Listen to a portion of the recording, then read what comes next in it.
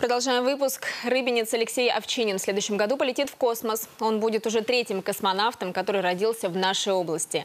43-летний Алексей Овчинин мечтал об этом с детства. Профессию летчика начал осваивать в Рыбинском аэроклубе. Ну а в космосе ему доверена работа командира международного экипажа. Это будет его первый полет, который продлится полгода, сообщает пресс-служба администрации Рыбинска.